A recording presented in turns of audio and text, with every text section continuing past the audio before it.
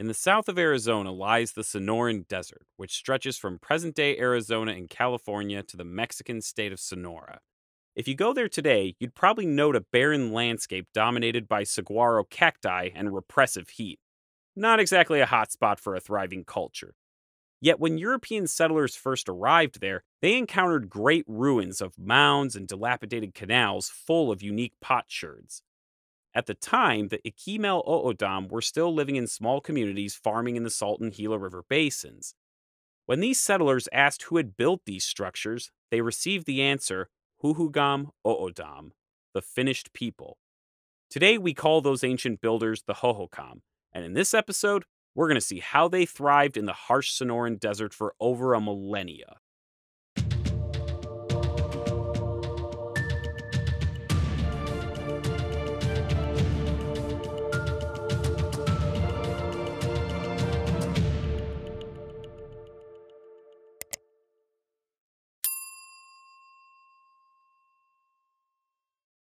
To the untrained eye, the Sonoran landscape is hardly where one would expect to find a thriving and sophisticated culture.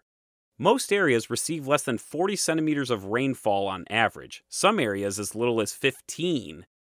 However, what appears to be barren to many can actually be bountiful to the enterprising eyes of those who are willing to eke out a living. They would have understood that the valleys were full of edible plants, small and large game, riverine resources, and latent fertile soil, and that the secret to success would have been the savvy management of these resources. The most important resources of the desert were, and still are, the Salt and Gila rivers. They provide a crucial source of surface water before draining into the Colorado River. Indeed, these rivers are what water the great modern day city of Phoenix, which is the fifth largest city in the United States, and in ancient times, they were the axis of incredible human activity. Before the Hohokam came into being, the Sonoran Desert was populated by archaic peoples who seasonally migrated between different areas of the desert. The catalyst for transforming these archaic peoples into the later cultures of the Southwest was the arrival of maize, beans, and squash from Mexico in about 2000 BCE. Those of you who have seen my maize episode should already be familiar with the transformative power of that humble, over engineered grass. Maize agriculture didn't take off right away. The archaeological evidence shows us that maize was being farmed in the summer before seasonal farmers would move out to other areas where they could live off of wild food sources. Over time, people began to rely on maize more and more, and this began to curtail those seasonal movements and create sedentary populations. By 1500 BCE, we see the constructions of early irrigation ditches to move water and the construction of pit houses to store maize harvests, accompanied by small house groups. These early dwellings are actually not hard to find, and their remains pop up along favorable stretches of river. What's very interesting is that these small house groups aren't actually found in the modern Phoenix area, which is going to become the beating heart of Hohokam culture later on, but instead in the south in the Santa Cruz Basin. And perhaps that's where it would have stayed, except that around 200 CE, changes in the Santa Cruz River left the canals high and dry and forced a migration further north to the Salt and Gila River basins. But who were these early maize farmers? This has been a source of debate for many decades. In the mid 20th century, it was fashionable to theorize that they were migrants from Mesoamerica, and indeed, a few scholars still champion this idea today. After all, maize agriculture came from that area originally, and as we'll see, there was a lot of contact between the Hohokam and Mesoamerica. And you could even debate that the Hohokam were part of a larger Mesoamerican sphere. But that's hardly a smoking gun. Cultural similarities are not proof of ethnic connections.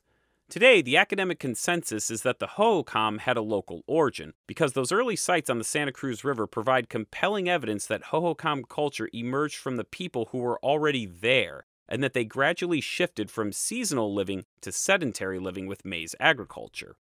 Regardless of where they came from, by about 450 CE, these new settlements began to coalesce into Hohokam culture. Now, before we go any further, we need to talk about chronology.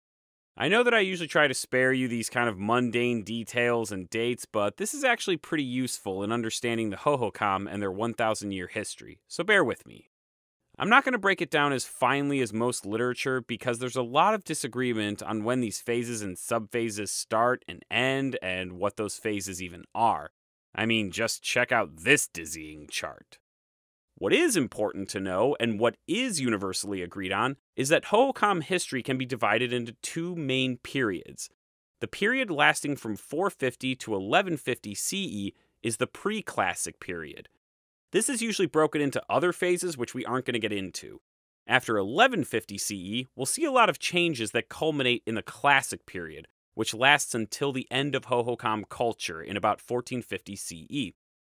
The Classic is usually subdivided into the Early Classic from 1150 to 1300 and the Late Classic from 1300 to the end of the Hohokam. But let's get back to the beginning of the pre Classic period. This is characterized by the formation of permanent communities and the beginnings of what is indisputably Hohokam culture. We can get a good look at this transformation at the site of Valencia Vieja on the Santa Cruz River. The site was originally a small farming settlement of 5 to 10 households, established around 425 CE. Nothing unusual there, that's pretty typical. However, around 500 CE, the settlement began to grow into a village thanks to an influx of new people. Why did these people come together? As anyone who lives next to an annoying neighbor or in the confines of an overbearing HOA knows, living close has its drawbacks, especially when you're used to wide open spaces and mobility.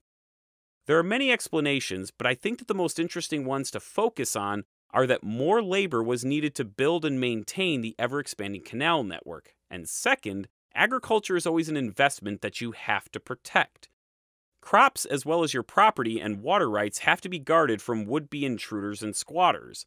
By 600 CE, the inhabitants of Valencia Vieja had constructed a large plaza in the center of the village that was flanked by up to eight large structures, most likely elite residences.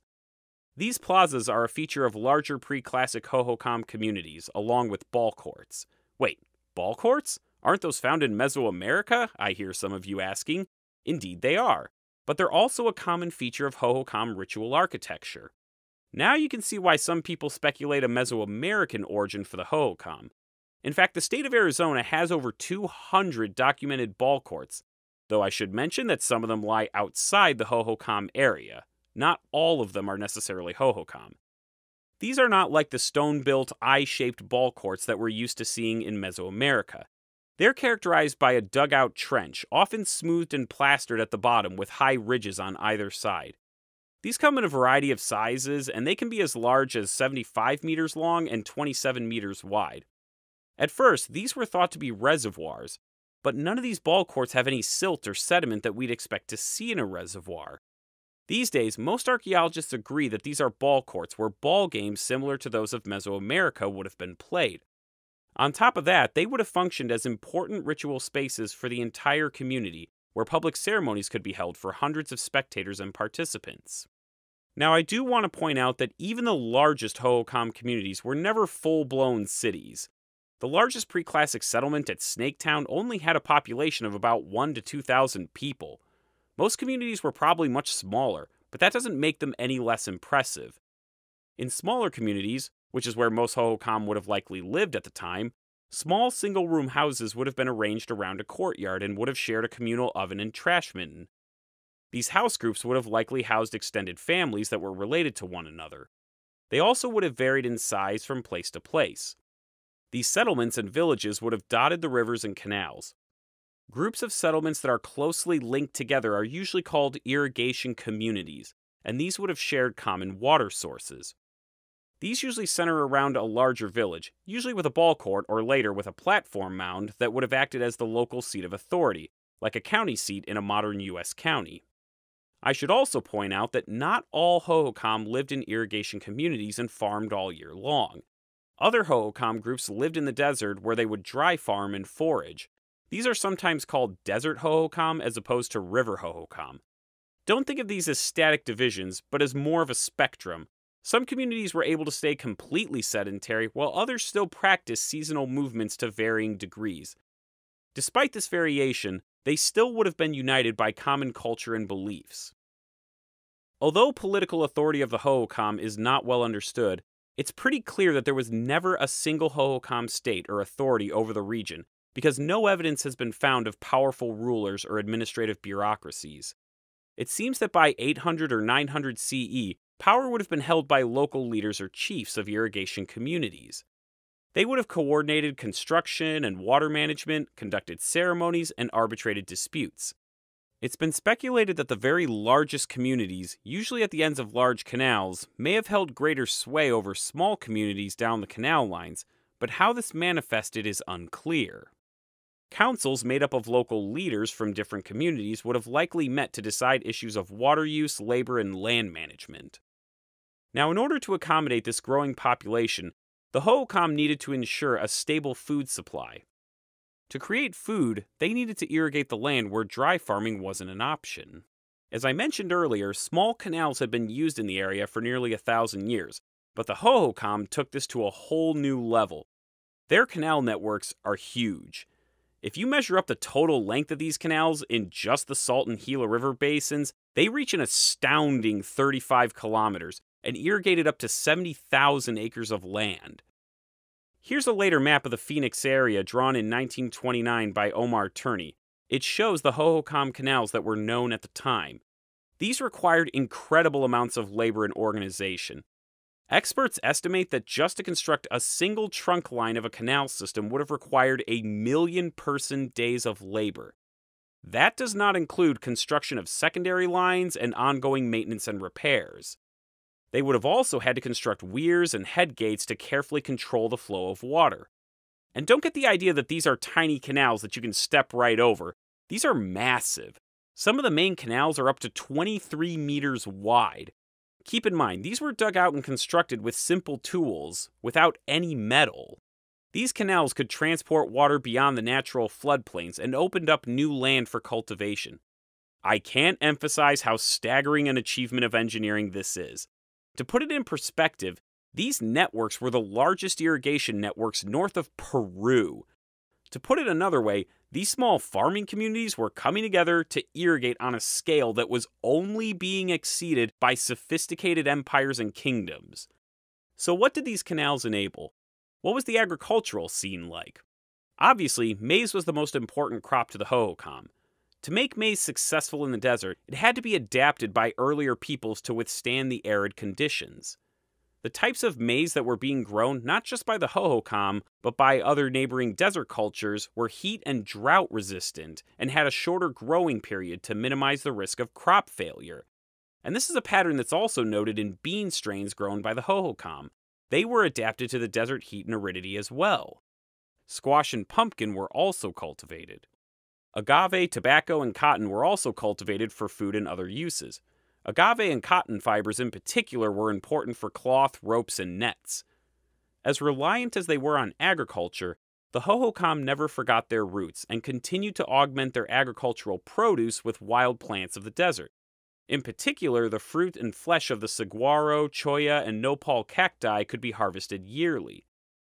We actually have written accounts of later O'odham using saguaro wine to celebrate the start of the agricultural cycle, and this may be a holdover of ancient Hohokam practices as well. Besides these, edible seeds and wild beans could be easily foraged as well. Meat was not abundant in the Hohokam diet, but small and large game such as rabbit, birds, deer, bighorn sheep, and river fish do appear in the archaeological record.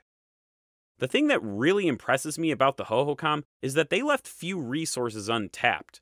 During historic times, the indigenous peoples of the Southwest were known to have used more than 250 edible plants. The Hohokam were incredibly well adapted to survival in the desert. With an abundance of food, Hohokam craftsmen and craftswomen began producing beautiful artifacts. Perhaps the most distinct of all Hohokam artifacts is their signature red on buff pottery. By the way, buff is just a reference to the brown clay that was used. This was made by taking a brown clay pot that was fired outdoors and painting it with a red iron oxide ochre. These artists painted people, lizards, birds, snakes, and abstract designs, and this became a signature style of the Hohokam. On a side note, you can also see these designs painted in rock art that's believed to date from the Hohokam period. Highly decorated pieces such as these serve domestic and ritual functions, and many artists fashion these into very elaborate forms. Censers would have likely been used for burning incense in rituals. Pottery would have also been used for holding ashes of the cremated dead, which were often buried in the ground with clay figurines of people and animals. Now, these exotic ceramics were not used by everyone for everything. Everyday use ceramics for cooking and storage would have just been made of plain buffware. I want to emphasize that this pottery is very unique to the Hohokam and very distinct from their Mogollon and Pueblo neighbors. Another important item that can be found is shell jewelry from marine shells that would have come all the way from the Pacific via trade. Most of these shell artifacts would have arrived in Hohokam territory pre finished. As time went on, Hohokam craftsmen began to work raw shell into finished products. These marine shells would have been fashioned into bracelets, rings, beads, and pendants for people of all ages. Whole conch shells would have also been prized as trumpets for rituals and ceremonies. Evidence of shell crafting is abundant at Hohokam sites, and this shows that it was greatly prized by the Hohokam people. Other goods produced by the Hohokam include stone points, baskets, cotton cloth, carved wood and bone, stone palettes, feather cloaks, and stone carvings. Many of these items are believed to have been made by craft specialists.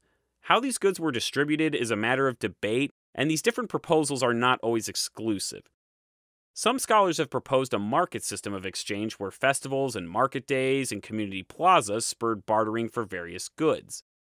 Unfortunately, no markets or warehouses have been found in the archaeological record, so that's a bit speculative. Others have proposed that, like many other pre industrial societies, finished goods would have been distributed by gift giving, gambling, marriage dowries, and ritual offerings. What is pretty clear, though, is that these goods would have been an important badge of identity that would have distinguished the Hohokam from their southwestern neighbors. And speaking of neighbors, let's take a look at the interaction the Hohokam had with the people around them. Another impressive legacy of the Hohokam was their huge trade network. As I mentioned earlier when we discussed the ball courts, they had a strong connection with Mesoamerica, and several Mesoamerican goods found their way into the Southwest. Now, when I say Mesoamerica, I'm not talking about the familiar regions like the Valley of Mexico, Oaxaca, or the Maya region, but instead of West Mexico along the Pacific coast. You know, that part of Mesoamerica that typically gets left unlabeled on maps. West Mexico has its own fascinating history and relationship with Central Mexico that we'll explore someday in exquisite detail, but for now, we're just going to look at its place in the Hohokam trade network. Goods from this area moved up the Pacific coast, through the desert, and into the American Southwest. Remember, many of these people would have spoken Uto Aztecan languages, so it's likely that there was a linguistic continuum between these far flung peoples that would have facilitated the exchange of goods. What goods, you may be asking? The most impressive are the hundreds of copper bells from the metalsmiths of Michoacan that have been found at Hohokam sites. Small amounts of Mesoamerican pottery and Mesoamerican inspired pottery can sometimes be found as well.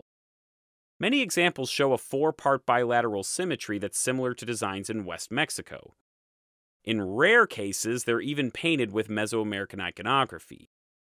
Iron pyrite mirrors have also been found, which themselves are likely a West Mexican version of the pyrite and obsidian mirrors found in central Mexico.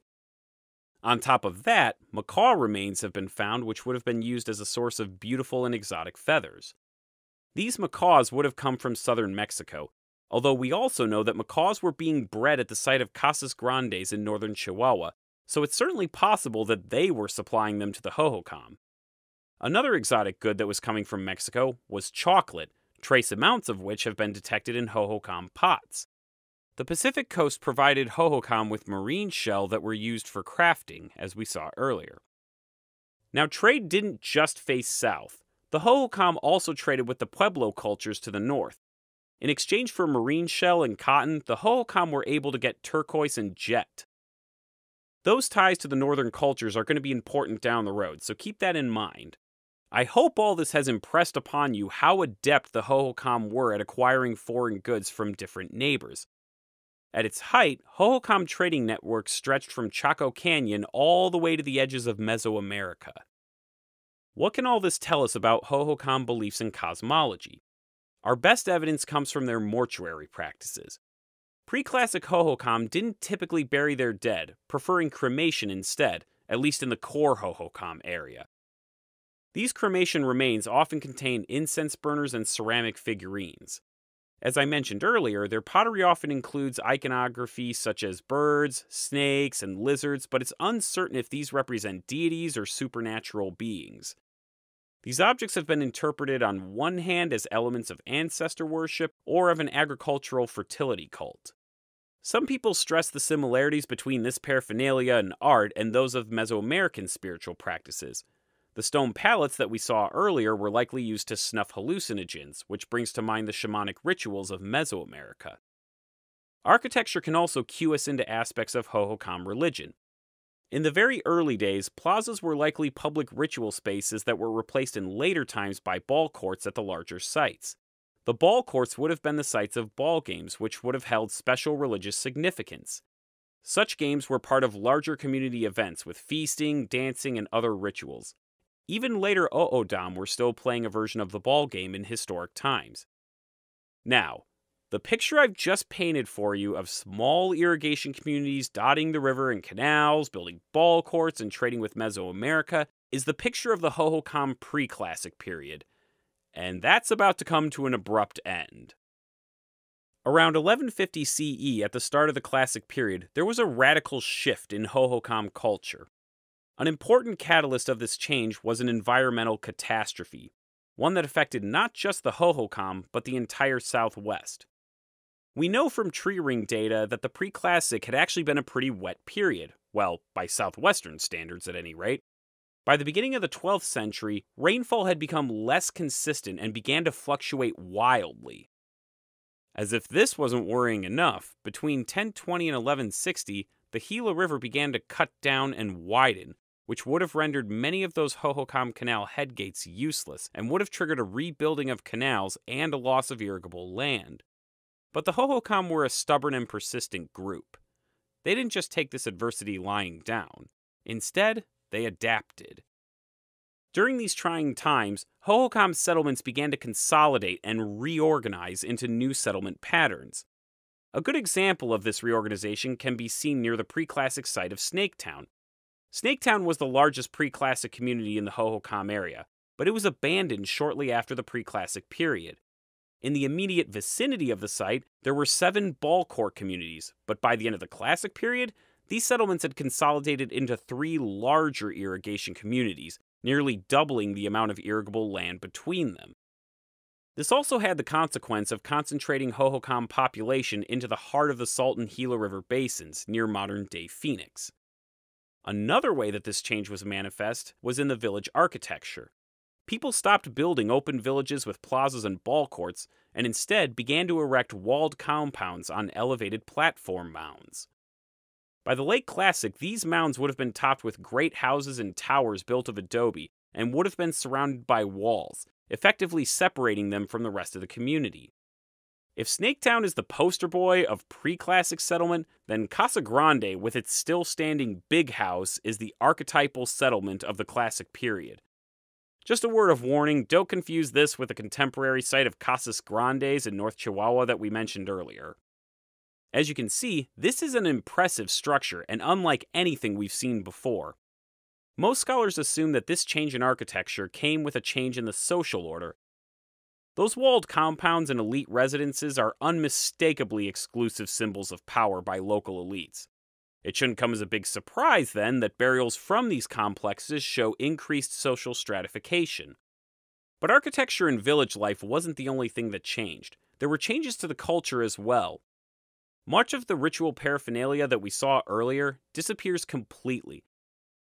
Those palettes, stone bowls, ceramic figurines, and censers, and presumably their associated ceremonies that we saw in the pre classic Hohokam culture, are gone.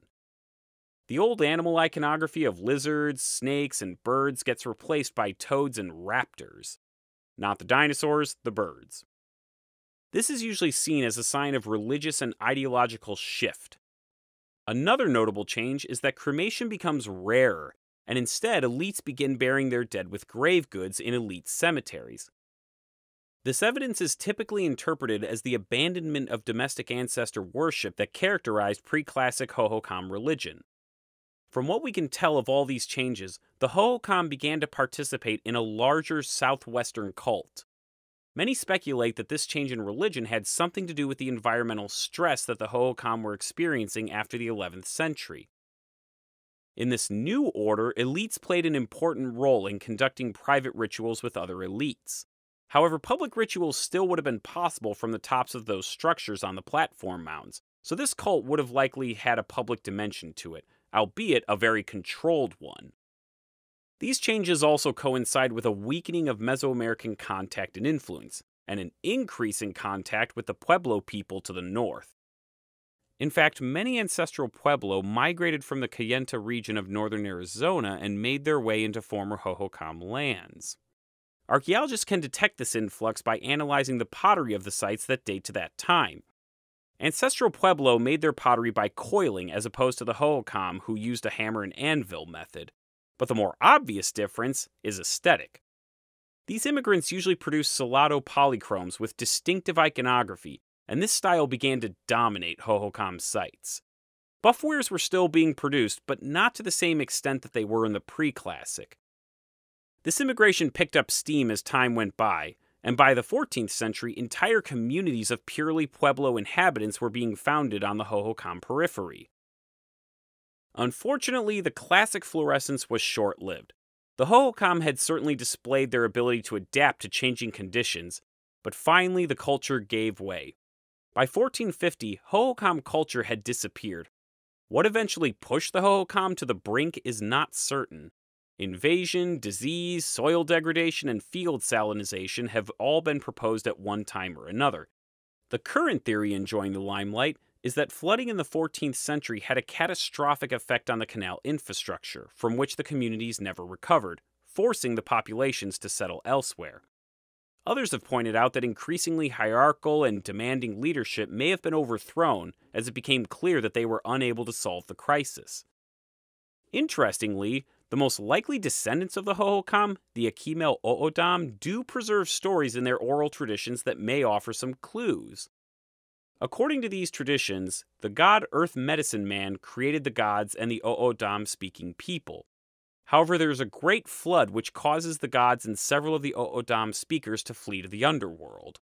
While in the underworld, the proud god Elder Brother returns to the surface and creates a new group of O'odham speakers, the Finished Ones.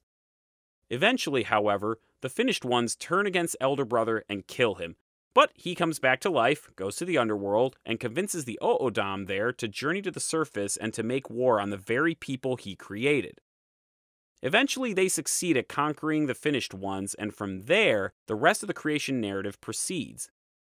These accounts of floods and warfare may recall ancient events in the deep past of the O'odham that could shed light on the fate of the Hohokam, now, I should emphasize that there are other oral traditions from other groups in the area, like the Yavapai and the Maricopa, that differ a lot from this telling, and that these storytellers are not recounting a history of memory, but a story of the deep mythological past.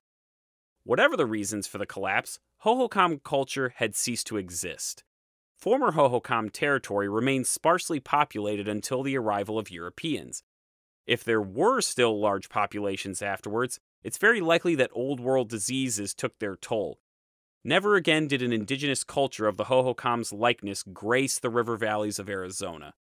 Now, I don't want to give you the impression that all the Hohokam people died off. They stuck around, but in a new way.